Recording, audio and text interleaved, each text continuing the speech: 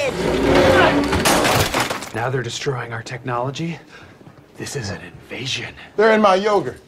Now it's personal. All right, that's it. We have got to fight back. This is our planet. Just use Boyle's cologne. It's repulsive to everything.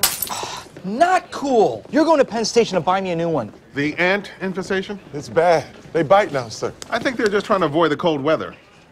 We should freeze them out. The plan is working, Captain. Yes, we won. Oh my god.